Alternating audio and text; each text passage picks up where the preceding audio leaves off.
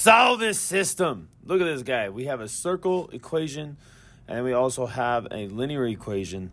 The circle equation is the x squared plus y squared equals 1, and your linear one is the other guy. Okay, so what we're going to do is we're going to use a substitution to solve this. So I'm going to write the circle equation up there without the y because that's what I'm going to substitute in. You see, it says y equals. And so let's go ahead and substitute that in. We get 2x plus 2 to, for our y. And now we have to multiply that out. Make sure when you guys multiply this out that you multiply 2x plus 2 times 2x plus 2. And then when we do that, we get 4x squared plus 8x plus 4. Now, because this is a quadratic, we're going to want to put everything on one side, all the numbers, and so it should equal 0. And we're going to combine like terms. So when we combine like terms, we get 5x squared plus 8x plus 3.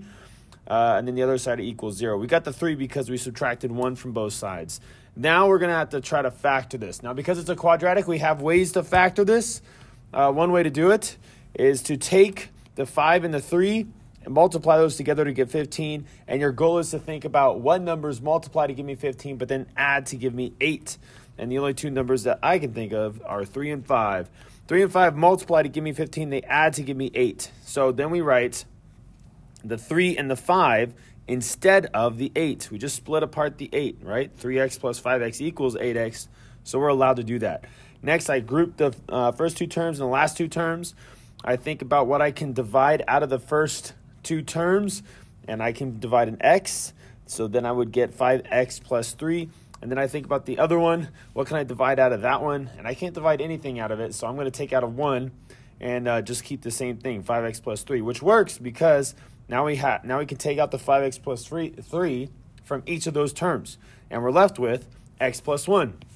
So we write x plus 1 and we get 0. Now the zero product property says that only one of these factors has to be zero in order for this to equal zero, in order for it to be true. So we take each factor one at a time, one at a time, and we set it equal to zero to see uh, what the x would have to be in order to make that factor equal to zero. So if we do the x plus one, we get x, my, uh, x equals negative one, which we already have, so we don't need that one. That was one of the solutions that the problem gave to us. And so the other factor, 5x uh, plus 3, when we set that equal to 0, subtract 3 from both sides, and then divide both sides by 5, we get negative 3 over 5.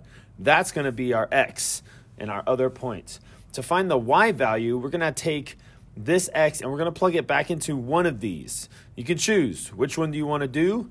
Um, well, I'm going to choose the easy one, the linear one. So I'm going to plug in negative 3 over 5 into that x, multiply it by 2, and then add 2. When I multiply 2 times negative 3 over 5, I get negative 6 over 5 plus the 2 and now to make common denominators, we get a 5 on the denominator, 10 on the top. Negative 6 plus 10 is going to give us 4 over 5, and that's our answer. That's how you do.